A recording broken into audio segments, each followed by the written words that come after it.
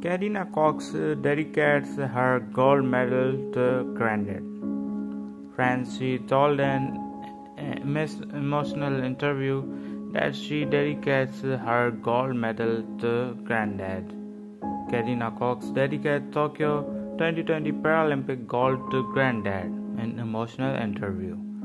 Paralympic GB's Kadeena Cox, the 13-year-old smashed the world record as she stormed to victory in the C4 five-time trial, retaining her title from Rio 2016 in process.